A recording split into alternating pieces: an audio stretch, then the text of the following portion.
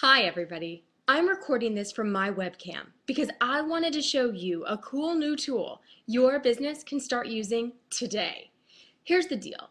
Your satisfied customers and clients can be your best salespeople, but until now, customer and client reviews looked something like this.